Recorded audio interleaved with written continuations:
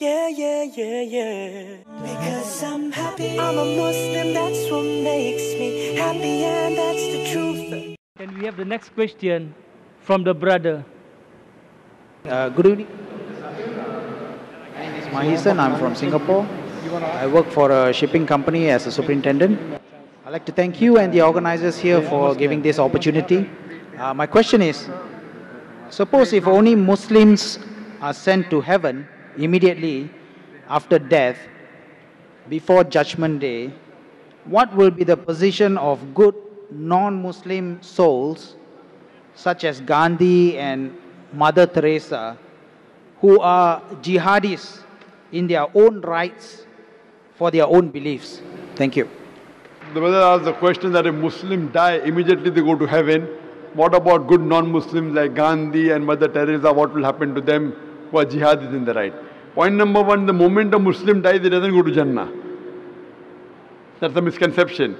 After a human being dies, he goes into barzakh, dormant. All the human beings will be resurrected on the day of judgment. After the day of judgment, all those who pass the test will go to Jannah, all those who fail the test will go to hell. All the people who claim to be Muslims will not go to Jannah. The criteria to go to Jannah is given in Surah Al-Asr. And regarding a question, what will happen to those non-Muslims who are good like Mother Teresa and Gandhi, etc. When I was in school, I did my ICSE, there were six compulsory subjects you had to pass in. Six. Mathematics, English, Science, Hindi, Geography, History. I'm asking you a question.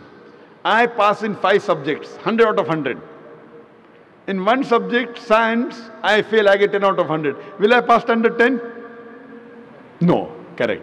Similarly, to go to Jannah, there are four things required according to Surah Al-Asr, chapter number 103, verse number 1 to 3. Wal as innal insana fi khusr illa lazina amanu wa amilu salihati wa tawasaw bil haqq wa tawasaw sabr. By the token of time, man is verily in a state of loss, except those who have faith, those who have righteous deeds, those who exhort people to truth, those who exhort people to patience and perseverance. For any human being to go to Jannah, to go to paradise, he requires minimum four things. He requires faith believe in one God, should not do idol worship, should not believe human being as God, should not believe Jesus Christ as God, peace be upon him, should not do idol worship, belief. Second is righteous deed, do good deeds. Third is exhorting people to truth. Fourth is exhorting people to patience and perseverance. You talk what will happen to Mother Teresa. As far as my knowledge goes, Mother Teresa was a Christian and she believed Jesus is God. So in Iman, she fails.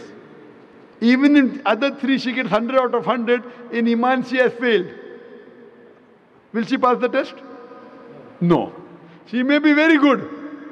Same thing with Gandhi. As far as my information goes, Gandhi used to do idol worship. If you have in faith, they fail. Maybe in good deeds they might have got good marks. Maybe.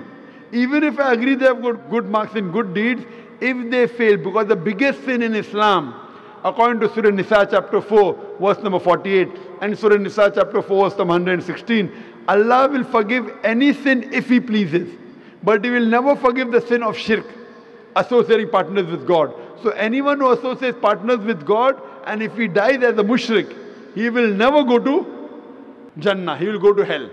Even those who claim to be Muslim, they will not go to Jannah unless they have faith, they do righteous deed, they do dawah, exhort people to truth, and exhort people to patience and perseverance. Only those people who have namesake Naam, Zakir, Abdullah, Sultan, Muhammad will not go to Jannah.